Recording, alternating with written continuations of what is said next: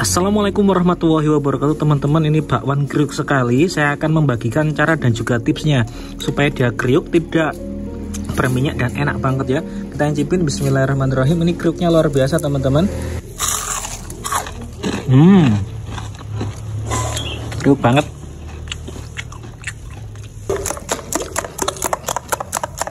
Terima kasih yang sudah mengikuti dapur Ayanka dan kami mohon maaf sebelumnya. Wassalamualaikum warahmatullahi wabarakatuh. Assalamualaikum warahmatullahi wabarakatuh. Selamat datang di Dapur Rayanka. Jangan lupa bantu like, komen, dan subscribe di video ini. Semoga bermanfaat dan Anda sehat selalu. Terima kasih. Wassalamualaikum warahmatullahi wabarakatuh. Bahan-bahannya pertama saya pakai tepung uh, tepung terigu ya kunci biru ini. 20 sendok makan. 5 sendok makan tepung beras rose bran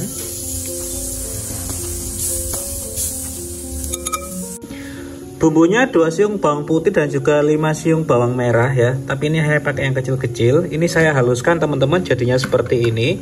Bisa Anda blender, bisa Anda ulek. Saya masukkan seasoning teman-teman 1 sendok teh garam. Ini ada lada bubuk setengah sendok teh dan juga penyedap ya. Ini e, bisa pakai bisa enggak. Lalu Anda masukkan baking powder teman-teman setengah sendok teh dan juga air 250 ml air.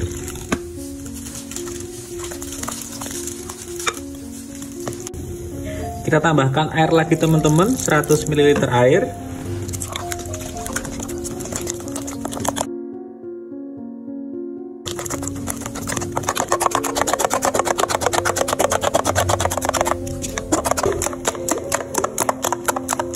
Nah ini teman-teman yang membuat dia lebih gurih, lebih kriuk dan lebih enak ya. Saya kasih satu sendok makan margarin yang sudah saya larutkan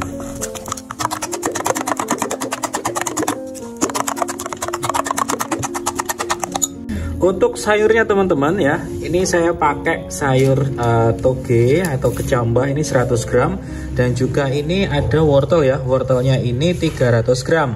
Serta ini saya punya daun bawang dan juga daun seledri secukupnya. Masukkan sayur-sayur tadi teman-teman. Ada wortel, kecambah dan juga daun-daunannya ya.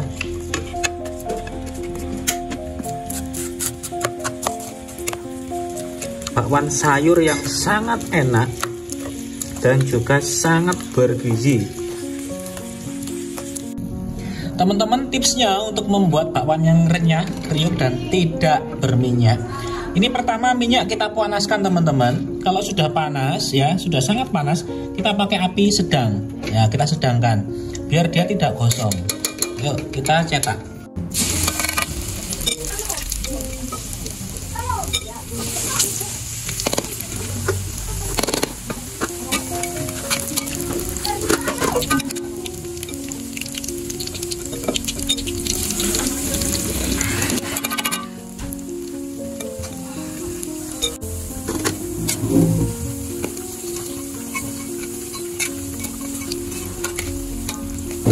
saat sudah golden brown ya seperti ini dia sangat crispy teman-teman dan sangat crunchy ya baru kita angkat. Untuk selanjutnya bisa anda uh, goreng seperti ini teman-teman.